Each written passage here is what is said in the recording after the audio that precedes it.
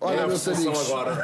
um beijinho, porque agora vamos falar da Sociedade Ponte Verde, que lançou uma aplicação com o objetivo de criar maior envolvimento para consciencializar a população para a importância da reciclagem. É verdade, os jogos que existem na aplicação, que é a aplicação Acerta e Recicla, nós já falamos aqui várias vezes, saltaram para as ruas da cidade do Porto e naturalmente que a nossa querida Sara Santos foi testar o conhecimento dos portuenses. Aposto que acertaram em tudo. Vamos ver. A aplicação Acerta e Recicla tem jogos sobre reciclagem que dão prémios. Se acertar nas perguntas e quantos mais pontos acumular, mais pode ganhar. Nuno, pai de três, faz reciclagem em casa de certeza. Fazemos separação, sim. É verdade. Estão preparados para este desafio? Vamos ver. Acho que estamos preparados. Mas têm aqui uns ajudantes à altura, À não é altura, assim? tenho, tenho. Vocês sabem tudo sobre reciclagem, não é, meninos? Sim. Então.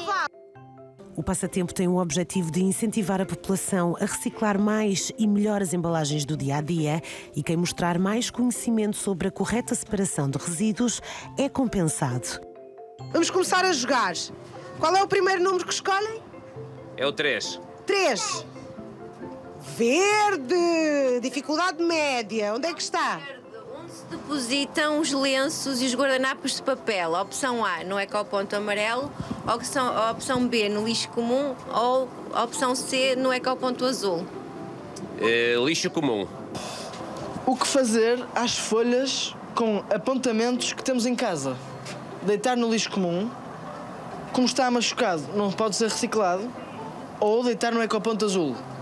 Está no ecoponto azul. Correto, 13 pontos. Onde devo colocar as caixas do medicamento? A. Entregar numa farmácia. B. Colocar no ecoponto azul. Ou C. Nenhuma dessas. Entregar numa farmácia.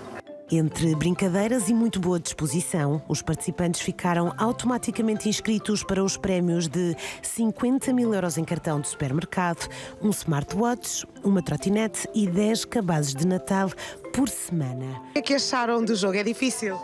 Não, achei muito interessante e muito útil porque tudo o que seja para promover a reciclagem, para as pessoas se habituarem, é sempre. Consciencializar, não é? E a Hilda estava aqui imparável.